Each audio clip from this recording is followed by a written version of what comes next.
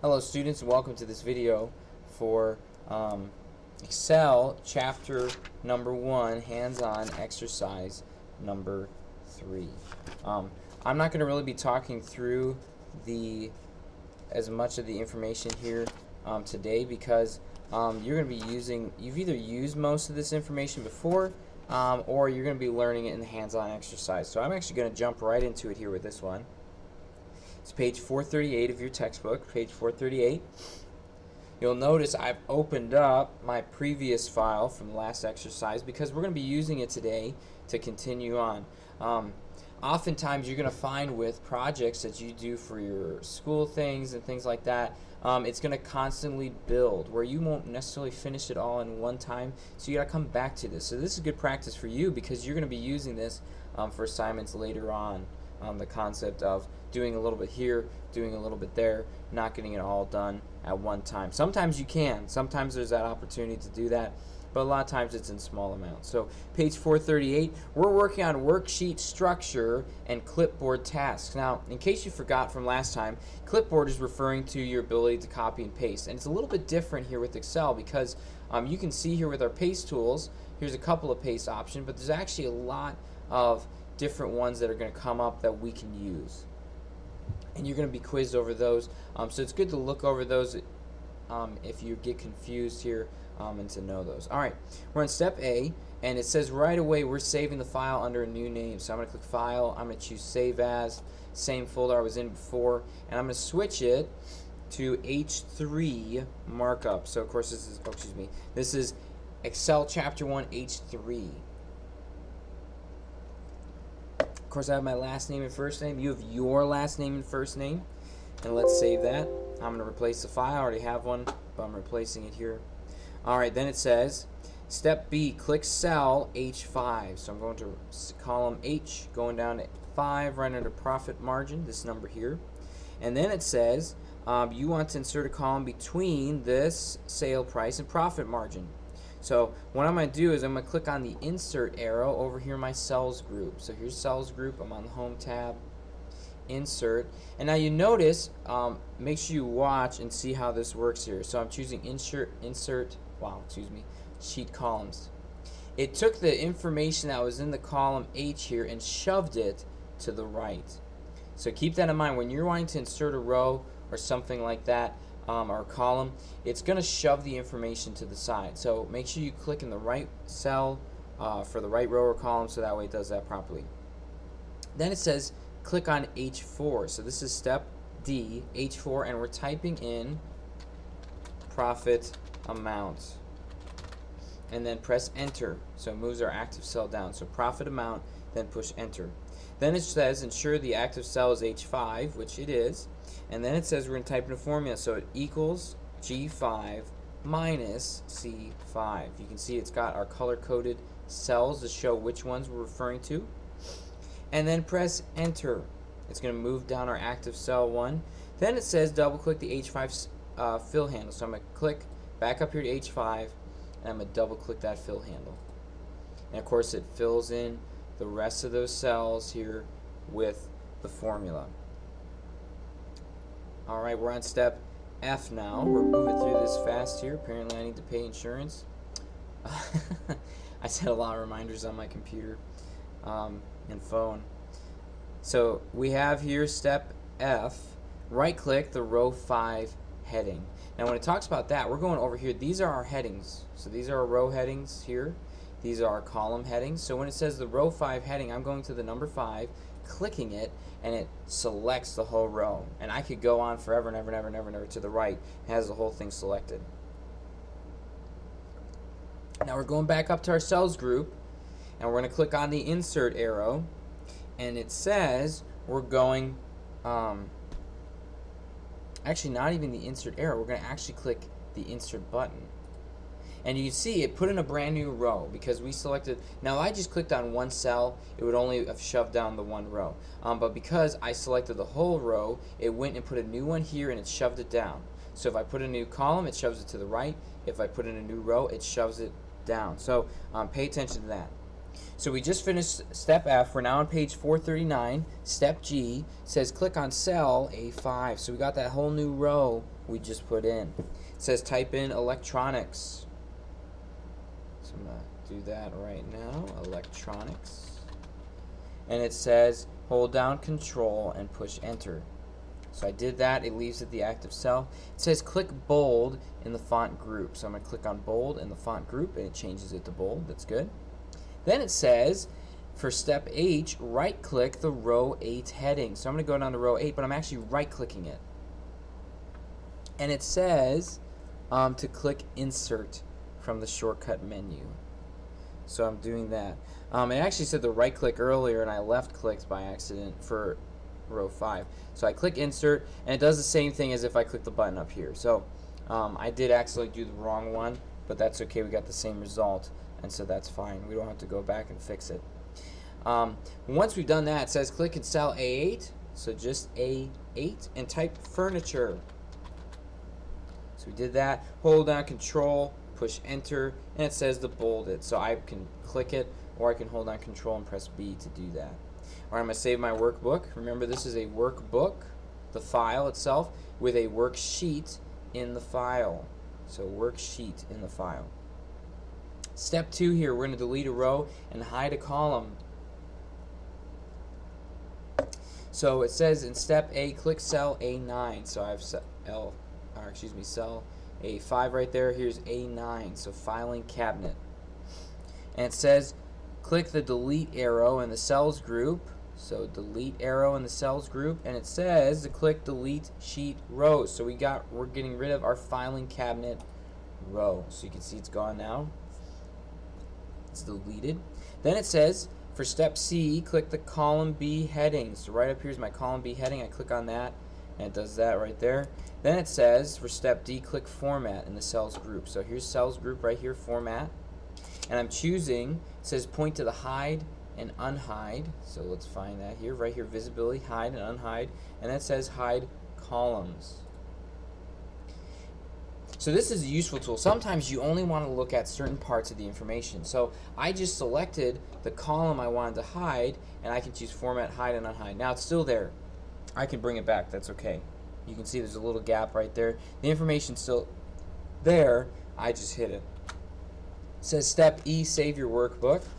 And we're moving on here to page or uh, 440 with step number three. So we've got six steps total. We're about halfway through. And it says we're going to adjust the column width and the row height. Now, step A on page 440, point to the right border of column A. So the right border, so this side of column A. And you can see I got that double-headed um, black arrow. Then it says point to the right border of column A, which we did that until the double-headed arrow appears, which we did. Drag the border to the left until the screen tip displays. So I actually have a screen tip display right away when I click it.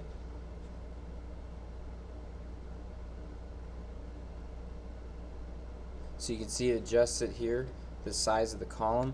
Um, and it looks like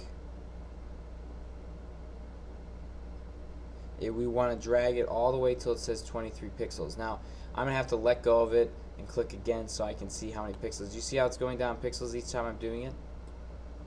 It's like a Dora the Explorer moment. I'm asking you questions now. Um, so you want to be able to do that too. You should be able to see it. So um, 23, oh, excuse me, I need to have 23 width. That's very important to watch for that. So let's actually, it says drag it to the left, but we really need to drag it to the right. So I'm going to actually do that, drag it to the right, um, ignore the left part. So I'm going to click on it again so I can see it, 166 pixels. Sometimes the book's a little bit off um, because the thing's changing. See, we always analyze and adjust. All right, we got 23 width, 166 pixels, so it actually should be over here. So you can see it works well because our information fits inside of that. All right, so we decrease the column width. There's a little weird wording for those steps. Then it says click cell A1, so office systems pricing information. And we're going to click format in the cells group. So cells group format. And we're going to choose row height. So So we can actually click and drag um, on each of these borders. That includes rows down here, or you can choose format and do row height or column width. So we're going to do row height for this one. So I click that. Um, the row height box comes up over here. Right now it's at 15, but we're going to change it to 30. And then we're going to click OK. And you can see it's changed the row height um, there. Save the workbook. We're on step four now. Select a range and move a range to a new location. Now we set a range. Um, you may have noticed this in the textbook here, um, and you'll get it in your terms list quiz as well. A range is a group of cells. So it's not like a range with a bunch of animals, it's a range with a group of cells. So when I click like this and select them, it's a group of cells. Now, there's another type of range we're going to talk about later, but right now um, we're going to just say that for the sake of practicality. So a range is a group of cells next to each other like this. Alright, so um, it says right click row 8 heading. So I'm going to right click the row 8 heading. You can see it selects all of row 8 and then it says to choose insert. So I'm adding in another row. So right click row 8 heading, choose insert. It does that for me. Then it says select range A12 through I12. So I'm going up here to row A and I've got A12, or excuse me, not row A, column A, A12 through I12. So it's this 27 inch monitor row. I'm selecting like this right here. A12 through I12. So I've selected that range. You can see I start with the right cell. It's very important to check and make sure you get the right cells before you do stuff. Then it says click cut in the clipboard group. So clipboard group is right here under my home tab. I'm choosing cut. Remember cut, you're taking that information, you're going to move it somewhere else. So I clicked cut. Then what we're going to do is you can see our status bar down here says select the destination, push enter or choose paste and you can see our we got that moving line. So that's how we can tell it actually works. So it says click cell A8, that's step D. Click cell A8 and it says click paste in the clipboard group. So I'm clicking on the paste button, not the word paste, the paste button itself and it moves it for me to that new row. So you can see we're organizing it. We got electronics here and then furniture here. So we moved it to the group it needs to go in. And of course it says to save our workbook. Alright, we're on the second to last big step here. It says copy and paste a range is what we're going to do. So we're on page 442. We're going to select the range A10 through I10. So right here I'm starting with desk chair, that's A10, and I'm just clicking and dragging do you see I'm doing that? I didn't emphasize that earlier, but I click and drag to select multiple cells, A10 through I10. Then it says click copy in the clipboard group. I could hold down control and C to do that. And you can see I copy that row. Then we're on step B here.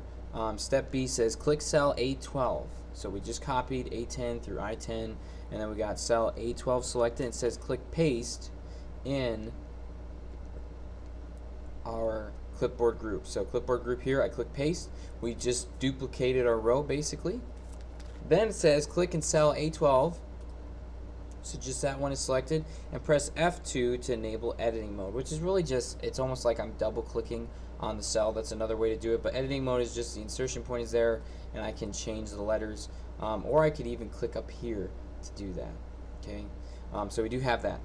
Alright, then what we're going to do is we are going to type in, um, it says, press home. So on our keyboard home, that brings us to um, the front of the box. And then I type in executive and a space. So it looks like that, executive desk chair, and then I push enter. Then it says um, change the value in C12, so right here C12 to 200 because the chair is worth more since it's an executive desk chair. And of course we're going to save it. Alright, we're on step number six here. We're on the last step, overall big one. We're using paste special. So Excel is different in the fact that because we're dealing with formulas, we're dealing with dates, we're dealing with all kinds of different things, um, we have that paste arrow for when we have something selected we can choose what kind we want and you're going to see them in action here. So step A on page 443, it says click on cell A1. So I'm going to go up here to the top, click cell A1. I'm going to change the font size here to 14. So click a couple times, it makes it a lot bigger. Then it says, I'm going to bold it, so I'm going to hold down control and push B, which makes it bold. Then it says click the font color arrow right here and select gold, accent 4, darker 50%. So right down here, it's this one. After that, step B, select range A1 through I12. So right here, this cell A1 through I12. So I actually, oh, not one more row over. I have to go. There we go. A1 through I12. So you can see, I'm going to zoom out a little bit here so you can see a little bit better. There we go. A1 through I12. And it says click copy in the clipboard group. So I click copy. You can see the whole thing is selected here. Then it says click cell A15. So right here is row 15, uh, column A. And it says click the paste arrow. Paste arrow. Now there's a bunch of different options and we're going to be going through using them um, here throughout these chapters. And we're going to point to formulas. It's this one right here, I believe, formulas. And it says it's the second icon from the left. And we are going to then position it. Don't click yet. This is just for you to be able to see it. I'm actually going to scroll down a little bit here so you can see this a little bit better. So I click paste. I got form uh, formulas here, and that says point over to the first icon from the right, which is formulas and number formatting. It's not the first one, um, but you can see it does change a little bit. One's formulas, one's formatting, formulas and numbers, so you can see the date shows up properly. So we're actually going to click that one. So because we have a date. Then it says click cell H6 to see a formula. So H6 to see the formula. So and you can see that. And then it says go down to so you can see it's G6 through C6 and then we're going down to H20 which I believe is right here, and you can see it's changed to G20 and C20. It adjusted it for us. It's a nice thing to copy and paste. It says press escape to turn off the border. So we did that. It no longer is showing a border up here. You'll notice it didn't keep our formatting because of the type of pasting we selected. Alright, step G, it says save the workbook.